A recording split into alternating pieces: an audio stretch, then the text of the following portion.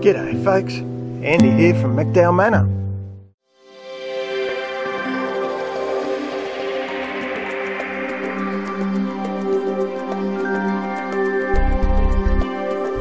So I'm continuing work on, sorry about that, continuing work on the bananas. Uh, it's proved to be a lot more difficult than I thought. I'll just come up here and turn around so I can show you what I mean. So I'm literally having to dig wood and root out of the patch where they were.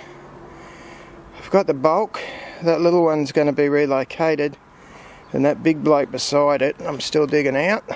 He's the only one left now out of five. You probably see a lot of it there. Bloody hell, you can hear me puffing, I guess. I found the wood soft, so the best way is not to try and dig under and rip it out. It's to go down from the top and break it into pieces that come out with root and all then. So we are continuing. Um, the ones that I'm pulling out that I think will be viable will go out the front. That one looks good, that little guy, so he'll definitely be a relocate. Oh, but I'll keep at it. I'm hoping to finish this today. It's been a bit of a long dig, you can probably hear that in my voice. So we'll get that out today, hopefully, and um, I'll show you a bit more of what's happening then.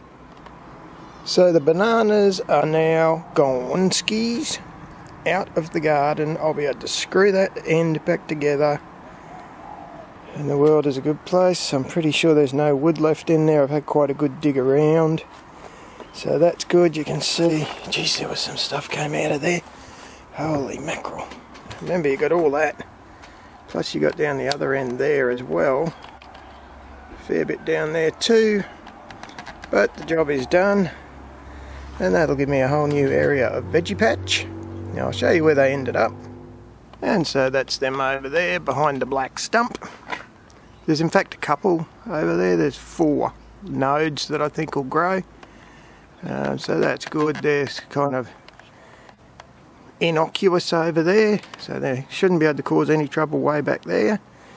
But it did get me thinking, remember, I put bloody Cavendish banana up in there. So I'm going to have to dig him out too now before he gets to the stage where he's going to give me trouble. So thank God he's only small. Won't be such a bad job, I shouldn't think.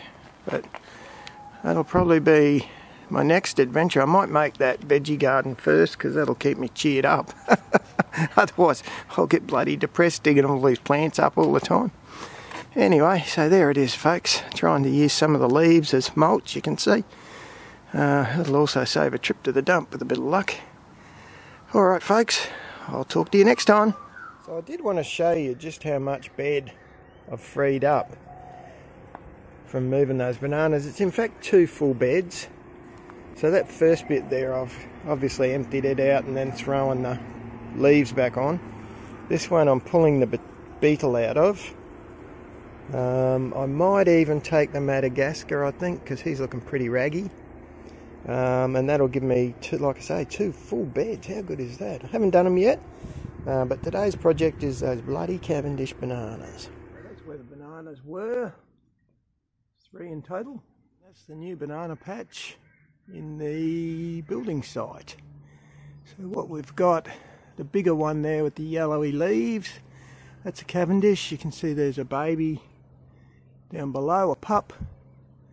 The one over there is another Cavendish. And then the one on the end with not many leaves, that's the ladyfinger from the big batch that was around the side.